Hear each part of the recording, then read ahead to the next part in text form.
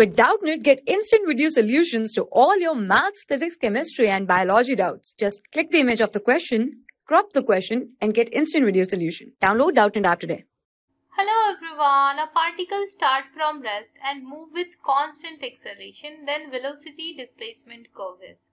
So if you see the acceleration is constant here, right? So if the acceleration is constant, we can write down the three equation of motion here.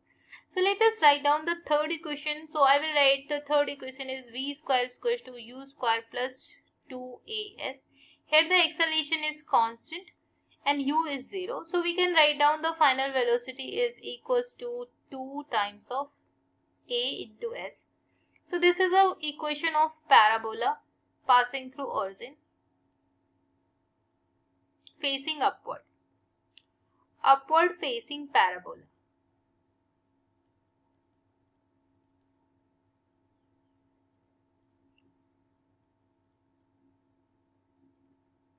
So the curve will be like if you see y square is equal to kx curve we know that it is like upward facing parabola. Now if you see the options present here upward facing parabola is this so here D is the correct option. Thank you.